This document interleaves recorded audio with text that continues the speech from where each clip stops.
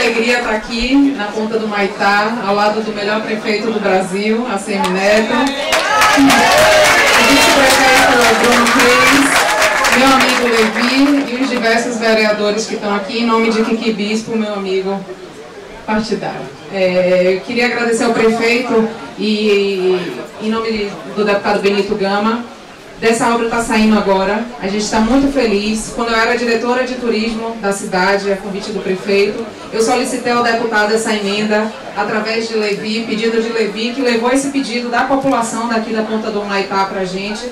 E o deputado, na mesma hora, falou que iria fazer e hoje a gente está aqui tendo esse prazer de estar tá requalificando através do projeto de Tânia, projeto que ficou maravilhoso, nesse lugar que tem o melhor e mais bonito pôr do sol do Brasil e do mundo, né, Você que leva esse pôr do sol para o mundo, fazendo propaganda de Salvador. Hoje a gente está muito feliz de estar aqui. Eu venho em nome do deputado agradecer a todos os moradores a paciência de ter esperado as burocracias da, da emenda ser liberada e agradecer ao prefeito de hoje estar aqui com a gente, comemorando mais essa, essa vitória aqui para a população. Muito obrigada a todas, em nome do deputado e a todos, e obrigado ao prefeito.